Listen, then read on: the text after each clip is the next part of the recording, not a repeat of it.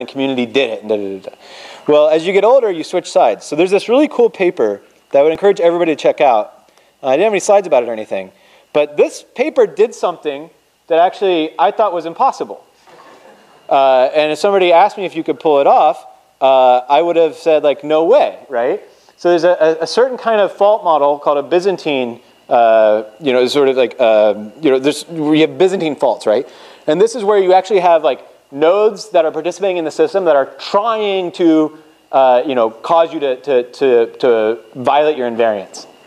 And it turns out that even in this completely wild, like wildly adversarial, like literally explicitly adversarial nodes operating, uh, you can still do consensus, right? You can still figure out, uh, uh, you know, some agreement throughout the network. So this is a cool paper. Actually, one of the authors is here. Uh, you, if if they would like to be, yeah, uh, if if you would like to talk to one of the authors, you should should go meet them. This is a person who, you know, somebody told, thought something was impossible and they went and did it, which I think is extremely cool. Um, but anyway, sorry. So I wanted to give a shout out to that work. It's very very cool work.